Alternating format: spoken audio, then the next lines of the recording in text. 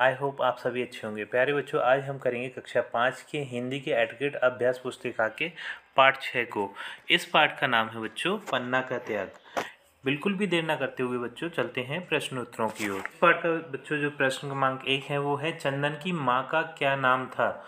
तो उनका नाम था बच्चों, पन्ना। ठीक है? जो प्रश्न क्रमांक दो है, वो है तलवार शब्द की समान तुक वाला शब्द लिखिए। तो तलवार शब्द जैसा मिलता जुलता हमें एक शब्द लिखना है, वो हो जाएगा ललकार। ये एकदम ऐसा लगता है जैसे तलवार बोला जा रहा हो। ठीक है, एकदम मिलता जुलता शब्द है। अब चलते हैं अगले प्रश्न प्रश्न क्रमांक तीन है बच्चों, वनवीर किसे मारना चाहता था? तो वनवीर उदय सिंह को मारना चाहता था। जो राजकुमार उदय सिंह थे, उन्हें मारना चाहता था। बच्चों, प्रश्न क्रमांक चार ये है, पन्ना ने उदय सिंह के प्राणों की रक्षा क्यों की? क्योंकि बच्चों पन्ना का जो राजधर्म और कर्तव्य था, वो अपने राजकुमार की रक्षा करना था। इसलिए इन दोनों कारणों से पन्ना ने उदय सिंह की रक्षा की थी। तो आप इस प्रश्न का उत्तर इस तरीके से लिख सकते हैं। पन्ना ने अपना राजधर्म और कर्तव्य निभाने के लिए उदय सिंह की रक्षा की। ठीक है, अब देख लेते हैं प्रश्न क्रमांक पाँच को। ये है स्वामी भक्ति से क्या अभिप्राय है? तो स्वामी भक्ति कहते हैं, बच्चों, जब कोई सेवक अपने मालिक की सेवा करता है तो उसे हम स्वामी भक्ति कहते हैं। तो इस प्रश्न का उत्तर हम इस तरीके से लिख सकते हैं। स्वामी भक्ति से अभिप्राय, अपने मालिक की सेवा करना है, ठीक है? अब चलते हैं अगले। इस पार्ट का जो प्रश्न क्रमांक छः है, बच्चों, वो है निम्नलिखित शब्दों के दो दो पर्यावाची लिखिए। तो सबसे पहले हम अंबर का पर्यावाची देख लेते हैं। अंबर का एक पहला पर्यावाची है आकाश, दूसरा है नभ। दूसरे नंबर पे है सूरज। सूरज का पहला पर्यावाची है सूर्य और दूसरा है रवि। तीसरा पर्य शब्द है सिंह। इसका पहला पर्यावाची है शेर और दूसरा है वनराज। और चौथा शब्द है हमारा आँख। आँख को हम नेत्र और चक्षु भी कहते हैं। तो इसका पहला पर्यावाची हो जाएगा नेत्र और दूसरा है चक्षु। जो बच्चों प्रश्न क्रमांक सात है, वो है, यदि आप पन्ना के स्थान पर होते तो उदय की रक्षा के लिए क्या करते? तो यहाँ पर हम जो आप स्क्रीन पर प्रश्न का उत्तर देख सकते हैं बच्चों इस तरीके से आपको इस प्रश्न का उत्तर लिखना है मैं पढ़ के बता देता हूँ आपको। ये है जिस प्रकार पन्ना ने अपने बेटे चंदन को उदय सिंह की सैया पर सुला दिया और उदय सिंह को कीरत की टोकरी में छिपाकर महल से बाहर कर दिया। मतलब ये पन्ना ने एक युक्ति लगा लगाई थी बच्चों कि मैं उदय सिंह की रक्षा कैसे कर सकती हूँ? तो उन्होंने अप, जो उनका पुत्र था बच्चों तो उन्होंने अपने पुत्र को, चंदन को, उदय सिंह की सैया पर लिटाल दिया, जिससे जो बनवीर उसे मारने के लिए आए तो वो उसे चंदन को, उदय सिंह समझकर उसको मार दे और वो जो राजकुमार उदय सिंह थे, वो बच जाएँ, ठीक है?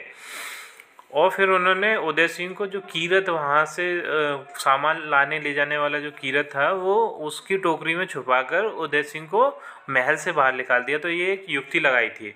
अब आगे देख लेते हैं, इस प्रश्न में क्या लिखा है? उसी उसी तरह हम यदि पन्ना की जगह पर होते तो किसी न किसी तरह की युक्ति लगाकर उदय सिंह के प्राणों की रक्षा करते। इसके लिए चाहे हमें अपने प्राणों की न्यौछवर ही क्यों ना करना पड़ता। है ठीक है? तो हम अगर पन्ना की जगह होते तो हम भी उदय सिंह जी की रक्षा करते, कैसे भी करके चाहे हमें उसके लिए अपने प्राण ही क्यों ना त्यागना पड़ते। तो इस तरीके से आप ये प्रश्न क्रमांक सात का उत्तर लिख सकते हैं। अब बच्चों ये आगे मूल्यांकन पाँच दिया है। यहाँ पर हम प्रश्न क्रमांक एक को देखेंगे। ये बोल रहा है, दोना और पत्तल के बीच में किसको छुपाया गया था? तो दोना और पत्तल के बीच में उदय सिंह को छुपाया गया था। जब पन्ना ने कीरत की टोकरी में दोना और पत्तल के नीचे छुपाकर महल से उदय सिंह को बाहर निकाल दिया था। ठीक है बच्चों, आप चलते हैं अगले प्रश्न की अब जो प्रश्न क्रमांक दो है बच्चों, वो है निम्नलिखित अनेक आर्थी शब्दों के दो अर्थ लिखिए जैसे पन्ना पन्ना का पहला अर्थ होता है बच्चों, कीमती रत्न, जो कीमती पत्थर जैसे हीरा है और नग हैं, ये सब पन्ना जो कीमती रत्न होते हैं, पन्ना की कैटेगरी में आते हैं, और पृष्ठ पृष्ठ मतलब पेज, जो अपने कॉपी किताब के पेज होते हैं, उन्हें भी हम पन्ना बोलते हैं बच्चों। रक्त रक्त को खून और लहू भी बोलते हैं, ठीक है?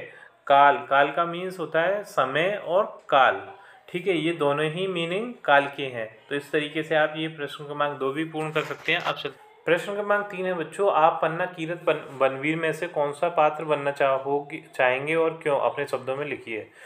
तो मैं जो पन्ना का कैरेक्टर है, बच्चों, पन्ना वाला पात्र है, वो करना चाहूँगा, क्योंकि ना जो इस कहानी में, इस नाटक में जो पन्ना का पात्र है, वो सबसे अच्छा लगा मुझे क्योंकि उसने अपने स्वामी भक्ति के लिए बहुत बड़ा बलिदान दे दिया। यहाँ तक कि अपने बच्चे तक को शहीद कर दिया उदय सिंह के लिए। ठीक है, इसलिए मुझे सबसे अच्छा कैरेक्टर या फिर पात्र पन्ना का लगा। तो इस प्रश्न का उत्तर आप इस तरीके से लिख सकते हैं बच्चों।